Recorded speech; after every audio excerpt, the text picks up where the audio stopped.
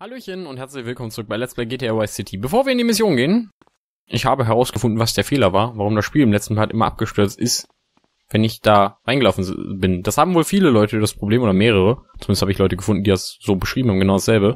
Wenn man seitlich durchgeht, nicht genau durch die Mitte, dann stürzt das Spiel auch nicht ab und man kriegt sein Geld. Wissen wir also das. Und die Mission spielen wir jetzt. What's going on? Tommy. Oh, good, good, good. Listen, listen, uh, listen. I like fish. I love fish. I love them as pets in bowls or as food on a plate. But as much as I love them, I don't want to sleep with them, okay? But right now, your Italian brothers are coming from up there to fit me with some cement shoes. And I. Shut up, Ken. Sit down. Lance, what the hell's going on? It's your friends up north, Tommy. They ain't too happy you capped their man. They're coming down to see the business today. They took longer than I thought. Guys, we gotta make this final. We gotta leave no doubt that this is my operation. Mine! Ken, you get the first run of counterfeit cash and put 20 mil in briefcases. Lance, you get the guys together. Ist übrigens ein sehr seltsamer Fehler, dass man da seitlich durchlaufen kann, aber nicht in der Mitte. Ich verstehe nicht so richtig, wie das, was da der Fehler ist. Also, keine Ahnung. Ist ja aber auch egal. No big hugs for your old buddy. I've had 15 years out of the loop. I'm a bit rusty on family etiquette. Oh, he's angry, huh, Tommy? Didn't I say your temper would get you into trouble, huh? There's three mil in the cases. How many was it? Ten? No, eleven men. That's how you get to be called the Howard Butcher. You sent me to kill one man. Ah. One man! They knew I was coming, Sonny. Tommy, watch your tone. Anyone would think you blame me for that unfortunate set of circumstances. Just take the money. Get the damn cash. You know, Tommy, I did what I could for you. I pulled strings, called in favors. I was your friend, Tommy. I hoped you'd see sense, see what's good for business. I trusted you, Tommy, and you disappointed me. But at least someone in your chicken shit organization knows how to do business. Isn't that right, Lance? Sorry, Tommy. This is Vice City. This is business. You sold us out. no, I sold you out, Tommy. I sold you out. The real cash is upstairs in the safe. So, Tommy, what was the big plan? You think I just take the fake cash, save face, and run away with my tail between my legs? No. I just wanted to piss you off before I kill you. Oh, oh, oh. Showdown! Äh, die Mafia will dein Geld stehlen. Verteidige den Safe. Okay. Verteidigen? Dann bleib ich hier.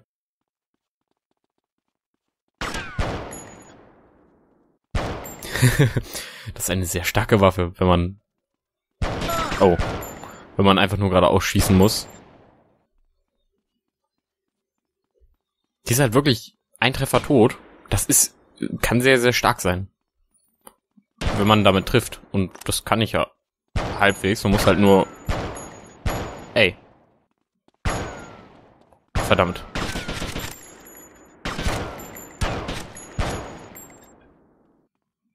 Äh, was, was stand da unten? Ich habe es nicht lesen können. Muss ich was machen? Okay, nein, da kommen noch welche. Also ich nehme an, dann muss ich nichts machen.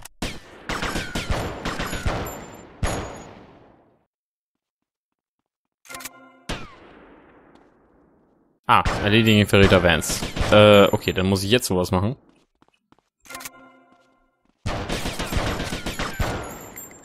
Kriege ich hier im Haus noch irgendwo Schutzweste? Ich wollte die Waffe auch haben. Äh, wenn ich rausgehe, ist aber, glaube ich, eine Schnellschusswaffe effektiver. Eh, Es sei denn, ich muss hier wieder stehen bleiben. Aber will ich nicht, wenn die da seitlich auch noch kommen.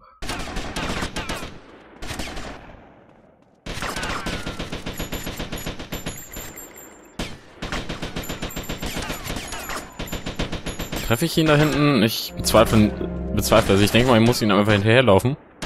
Oh ja, es ist auf jeden Fall geskriptet. Er wurde gerade geportet.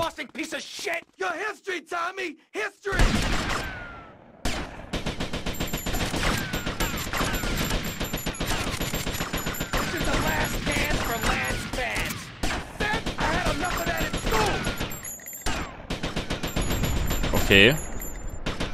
Es ist nur noch er da. Ich glaube, ich treffe ihn.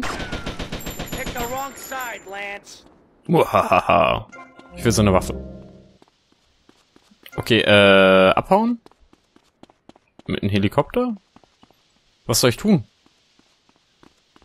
Das Spiel sagt mir nicht klar genug, was ich tun soll. Ah, sie klauen mein Geld. Mein Geld wird weniger.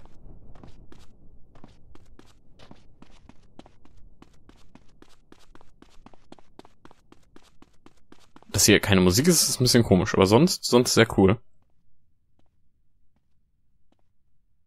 You took 15 years from me, Sonny, and now I'm gonna make you pay. You still don't get it, do you? I own you, Tommy. Those 15 years were mine to spend. Get him, boys. He never understood a thing.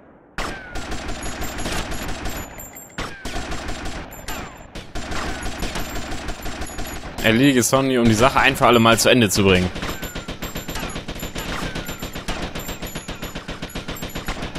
Das machen wir. Äh. Schön, dass ich da so halbwegs durch die Treppe durchballern kann. Aber die sind ja nicht mal mein Ziel, die Normalos. Er ist mein Ziel.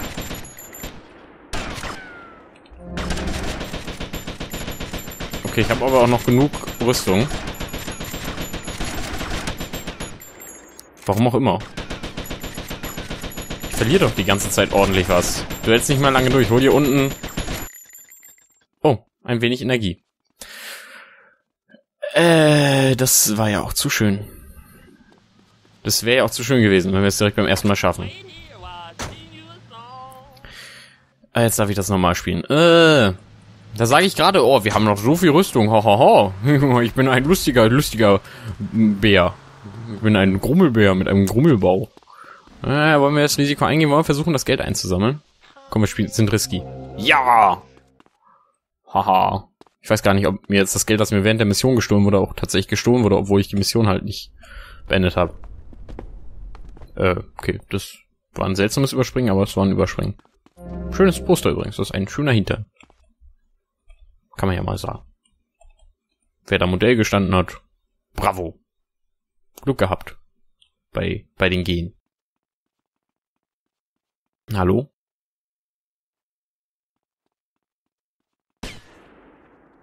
Wollte gerade sagen, müsste da nicht auch mal irgendwann jemand kommen? Der lief sehr seltsam. Der lief eigentlich eher schon weg. Ich glaube, die wissen was aus die Zukunft. Die wissen, vielleicht sind die so, vielleicht werden die auch immer respawned. Die kennen ihr endgültiges Schicksal, dass sie hier mit mir oder von mir bekommen werden. Und haben auch keinen Bock drauf eigentlich. Die wissen, ey, komm, wir sind hier die NPCs, wir kriegen nur aufs Maul. Vom Geld kriegen sie wahrscheinlich, falls sie gewinnen würden, auch nichts. Oder nicht sehr viel. Kann ich verstehen, wenn man darauf keine Lust hat. Okay, waren es nicht diesmal viel weniger Leute, die kamen? Ich mache hier nochmal ein paar fertig, bevor ich rausgehe. Oh, ich wollte die Waffe eigentlich noch einsammeln, beziehungsweise die Munition der Waffe. Hey, Tommy, you're going down, you backstabbing prick. Oh, you think so? Okay, ich renne hier durch und weich aus, weil ich ja jetzt weiß, dass das geskriptet ist. Da kann ich ein bisschen Leben sparen, hoffe ich. History, Tommy, history.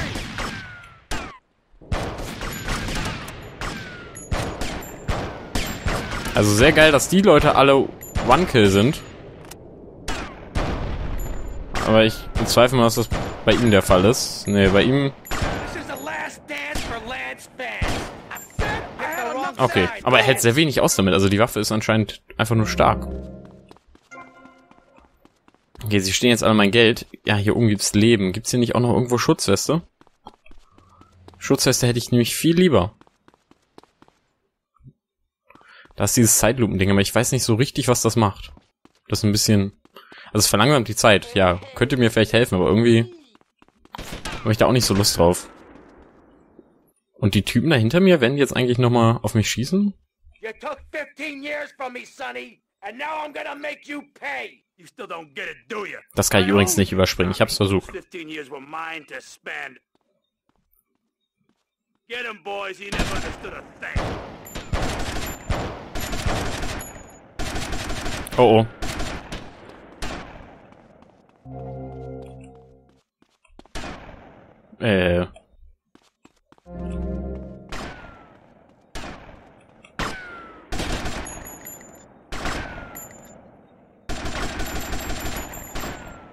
Okay, ich verliere übrigens nicht die ganze Zeit. gell? Ich hatte gerade kurz die Angst, äh, die Überlegung und dadurch die Angst, dass ich vielleicht die ganze Zeit, während die Mission läuft, Geld verliere und die Mission irgendwann vorbei ist. Weil ich nicht mehr genug Geld habe.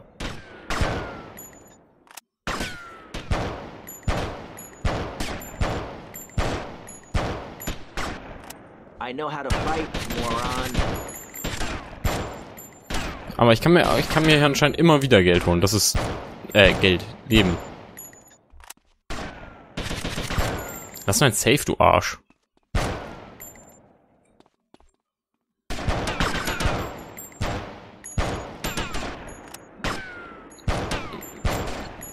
Ich warte gerade eigentlich, worauf warte ich? Hm. Gute Frage. Die kommen mir anscheinend unendlich nach. Ich warte, bis noch einmal das Leben respawnt. Weil gerade habe ich schon wieder so viel verloren. Ich weiß übrigens auch nicht, was die weißen Pfeile heißen. Die bewegen sich nicht. Ist vielleicht Leben?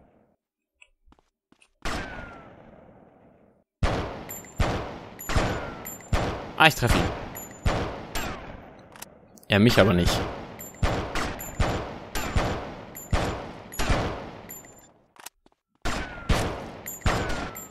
Du hältst nicht mehr lange, hol dir äh, Leben. Oh ja. Okay, solange wir nicht in diesem Raum sind, scheint es Leben zu respawnen.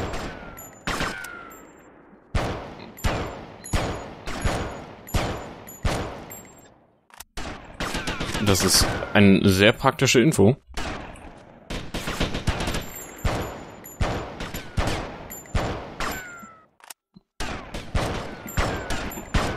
Ohne Schutzweste ist mir jetzt trotzdem alles ein bisschen zu knapp. Jetzt nicht mal lange durch. Ah, das. Okay, das Leben respawnt hier anscheinend doch irgendwann erst anscheinend.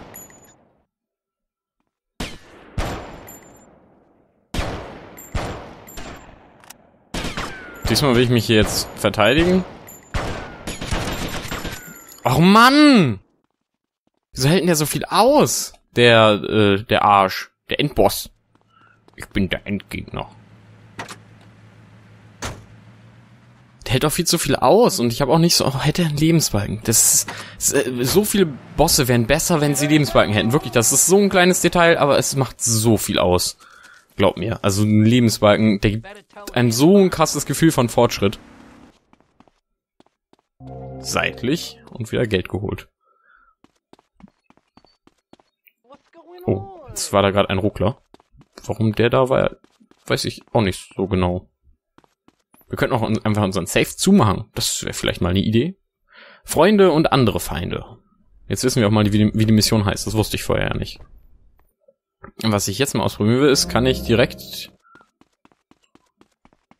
Okay, nein, geht nicht.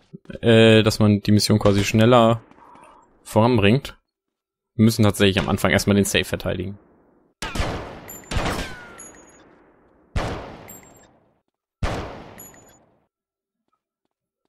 Die Waffe ist ja wirklich sehr gut, aber wenn da so viele auf einmal sind, dann wird es sehr stressig. Und ich würde am liebsten nichts von meinem Schutzschild, äh, Schutzschild, meiner Rüstung verlieren. Oder meiner Schutzweste heißt es ja. Also das wäre mir am liebsten, aber ist halt leider sehr unrealistisch. Außerdem, also wir haben ja schon was von, also es ist wirklich einfach nicht mehr machbar. Zeigen wir finden hier schnell noch eine Zeitreisemaschine. In unserer Villa. Dass hier echt keine Musik ist, ist wirklich ein bisschen komisch. Das gab meine größte Kritik an der Mission. Abseits vom gemeinen Schwierigkeitsgrad. So. No one to cover your ass now, eh, Tommy? You're going down, you backstabbing prick. Oh, you think so? Und dass man diese Sachen nicht überspringen kann. Ah, okay, hier kriegen wir wieder volles... Okay, aber wir spawnen ihn hier echt ein bisschen rum. okay, das ist wirklich so komplett geskriptet, dass wir hier einfach durchrennen können.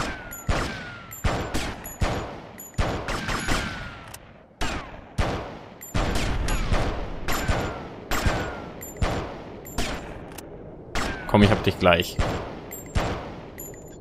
Hier zum Beispiel, der geht ja relativ schnell down, aber so eine Lebensanzeige wäre halt trotzdem sehr, sehr praktisch. Komm, wir versuchen es jetzt mal hiermit. Ich glaube, damit habe ich einen Vorteil. Gegenüber den anderen. Ah nein, das ist zu weit runter. Ich glaube, die anderen sind jetzt mehr in Zeitlupe als ich oder irgendwie so.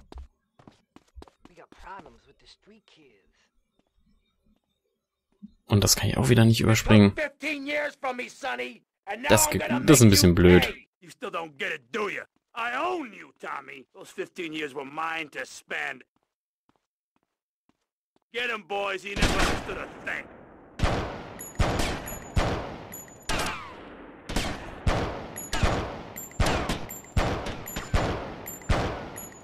Ich hab ihn schon? Ich hab ihn schon? Was? Das war jetzt ein bisschen... Na gut. Ich bin der Pro. Ich bin der Pro-Spieler. Bin der beste GTA Vice City Spieler aller Zeiten. Tommy? Oh my god, Tommy, what, what happened? What does it look like? It looks like you ruined your suit. And Tommy, that was a beautiful suit. Tommy, what on earth happened? Had a disagreement with a business associate. You know how it is. Tommy, I have a disagreement. I send them an angry letter. Maybe I pee in their mailbox. I don't start World War III. You know, maybe you should speak to my shrink. That stupid prick Lance. Tommy, I never liked that guy, okay? He's neurotic, he's insecure, he's self centered. The guy's an asshole. I'm glad you took him out. I don't think we're gonna be getting any more heat from up north either. Because there ain't no up north anymore. It's all down south now. Wait, does that mean what I think it means? Tommy, baby! What do you think it means? That we're in charge. I, I mean, that you're in charge. Oh, Tommy! You know, Ken, I think this could be the beginning of a beautiful business relationship. After all, you're a conniving, backstabbing two-bit thief, and I'm a convicted psychotic killer and drug dealer. I know. Ain't it just beautiful?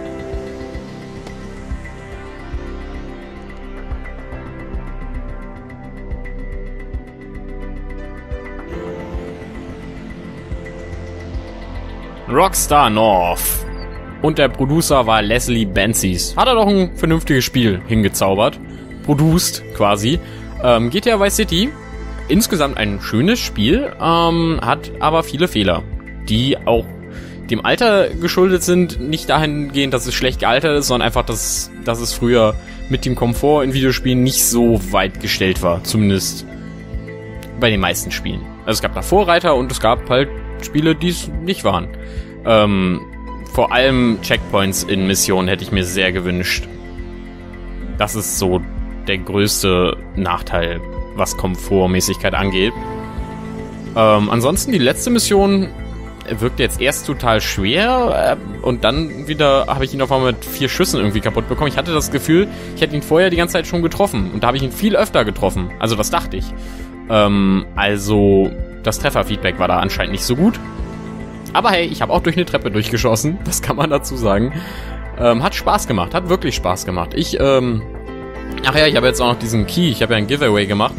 Ich habe einfach mal, ich wollte ja wirklich testen, wie ist denn das? Kriegt so ein kleiner YouTuber, wenn er einfach mal irgendein Spiel anbietet, dafür 50 Like auf ein Giveaway-Video. Was ich nicht bekommen habe. Äh, aber hey, ich habe hab schon in den Kommentaren beantwortet, jo, ich hau den Key einfach dann raus, wenn, wenn das Let's Play beendet ist. Das heißt, ähm, heute, wenn ihr das Video seht, äh, bis 0 Uhr gibt's noch die Zeit, unter dem Giveaway-Video zu kommentieren. Und dann verlose ich einfach um 0 Uhr 1 oder so, oder am nächsten Tag mache ich das mit an meinem PC, mache ich, mach ich mir eine Liste mit all den Leuten, die darunter kommentiert haben und dann mache ich ein Zufallsprogramm an und das sagt mir dann, wer den Key kriegt und den schicke ich den dann. Ja. Da kann noch jemand dieses Spiel hier spielen und wir haben das jetzt hier schon durchgespielt. Ich habe, nee, es hat wirklich Spaß gemacht. Ich finde GTA San Andreas ist trotzdem deutlich besser. Das wirkt einfach ein bisschen weiter. Ist ja auch, kam ja auch später raus. Also ist das schon ganz logisch, dass es ein bisschen weiterentwickelt wirkt. Das wäre sonst äh, kein gutes Zeichen für die Entwickler. Man will sich ja weiterentwickeln. Aber ja, dann äh, möchte ich euch. Die Musik ist wirklich sehr großartig, äh, so insgesamt. Auch die hier jetzt, also besonders die hier gerade fällt mir gerade sehr, sehr positiv auf. Aber die Musik insgesamt macht sehr viel Spaß. Äh, Es ist ein, also abseits davon, wie man mit der GEMA irgendwie aber wenn man es privat spielt, dann hat man damit ja zum Glück keine Pro Probleme. Noch. Das wird auch noch kommen. Dann hören die einen, die lauschen dann irgendwie die Fenster ab und wer denn GEMA-Musik hört, irgendwie, ohne es zu dürfen. Ne, das wird kommen, ihr, ihr werdet das sehen. Ihr wisst, was ich meine. Die GEMA, die nerven. Aber hey. Ich, ich sag Tschüss. Das war's für heute mit Let's, oder für immer, mit Let's Play GTA Vice City. Für immer. Naja. Bis zum nächsten Let's Play. Euer Vogel. Tschüss.